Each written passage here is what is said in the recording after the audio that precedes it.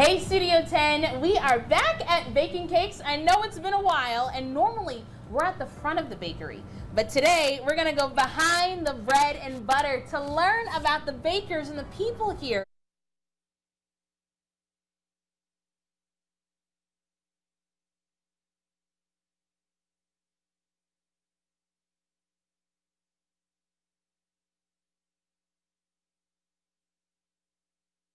Hey Studio 10, we are back at Bake N' Cakes. I know it's been a while and normally we're at the front of the bakery.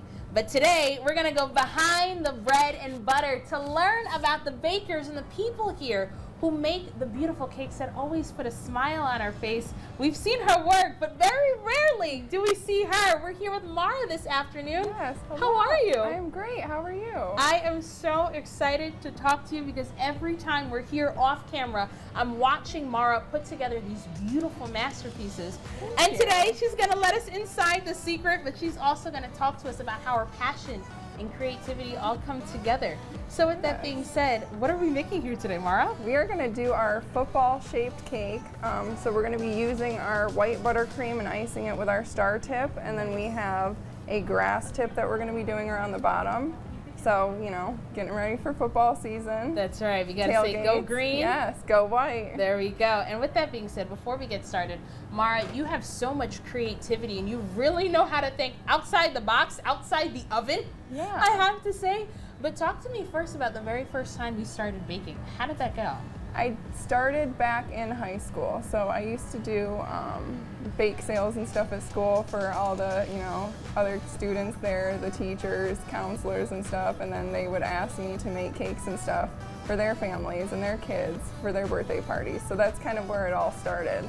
Um, And I love that you said high school because a lot of times we think that, hey, if I didn't start doing this at five years old or when I was a kid, and sometimes a passion comes up with you Mm-hmm. afterwards, you think, oh, I'm, it's too late for me to start. And then I got lucky enough to get offered an internship here my senior year instead of, you know, doing other core classes, and then I've been here ever since. What made you say, hey, let's make this into a football instead of our typical circular or, or square cake? Because it's more fun. It's something different, you know. You want to do more fun, unique things, not always do everything the same, you know. Why don't you show me the ropes, or show me the toppings, I should say. How do we get started? Yeah, so we're gonna start by just icing it white. Mm-hmm. So I just go around with the star tip. Okay. Sometimes, I mean, it really just depends too on the customer as well, because we'll get stuff where we do matching picture references or they'll give you creative freedom and they'll just say decorator's choice. So they'll ask you, you know, or we'll ask if you would like what theme decorations you want, like fall decorations, birthday, flowers, sprinkles. If they, you know, don't want to choose something like that, then we always ask just to provide a picture of kind of what you're looking for decoration-wise. There's been times where I, you know, I've read an order wrong and done the wrong color icing and had to completely scrape and, you know, redo the whole thing, but you know, that's okay. It's like it turns out better the second time anyway, so I'd say I like to do a lot of the cutout, custom shaped ones and the fondant stuff.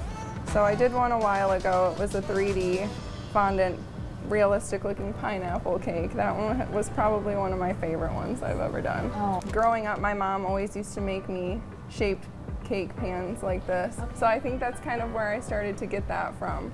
You know that saying, if you can't take the heat, stay out of the kitchen. But clearly, Absolutely. nothing was too hot for you back then. So, you know, sometimes I do draw stuff out on a piece of paper and write it out just so I can get that visual before I actually go and do it.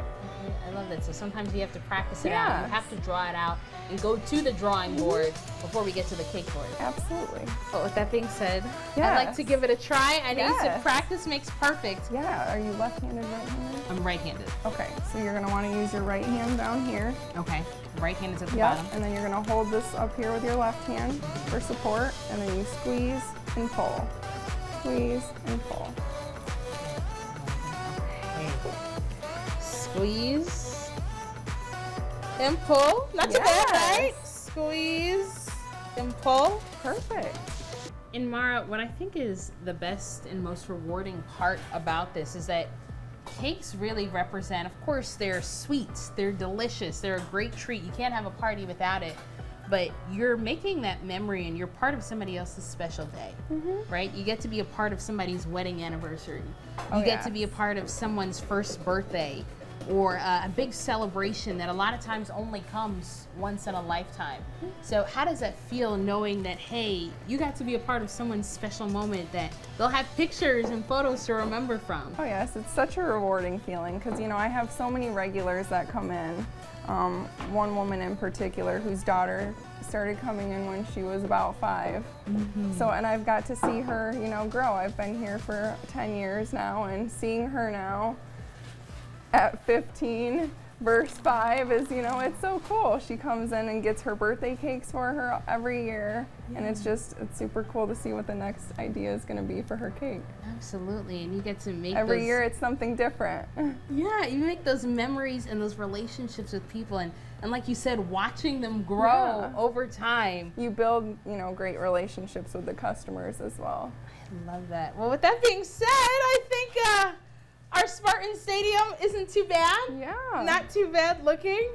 Well, Mara, thank you so much for letting us come behind the bakery and getting to know and share a little bit more about your story.